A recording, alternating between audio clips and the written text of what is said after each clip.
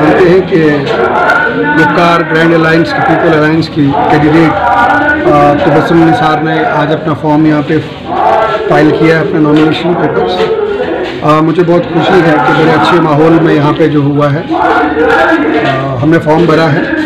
कुछ भी कहने से पहले आज एक बात ज़रूर कहूँगा कि जो बीजेपी के प्रेसिडेंट ने अपना बयान दिया कि जिसको भी जम्मू कश्मीर के लोगों के लिए और ख़ास करके गुप्कार ग्रैंड लाइन्स के लिए कि उनको जय श्री राम कहना पड़ेगा।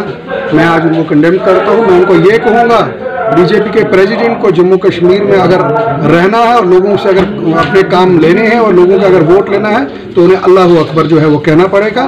तब तक उनको जो है मैं मैं नहीं मानता उनको लोग एक्सेप्ट करेंगे। और आज मैं ये बात ज़रूर कहना चाहूँगा स्टेट पे यहाँ पे कि बीजेपी जो जम्मू कश्मीर को पोलराइज कर रही है, पूरे हिंदुस्तान में पोलराइजेशन कर रही है और तबाही कर रही है हिंदुस्तान की।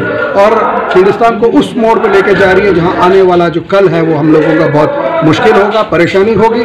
और जम्मू कश्मीर की आवाम, बीजेपी के जो प्रेसिडेंट है, उनको इन इंशाल्लाह जो इलेक्शन के वोट होंगे, उसमें अपना वोट डाल के वो बताएँगे कि जम्मू कश्मीर की आवाम क्या चाहती है।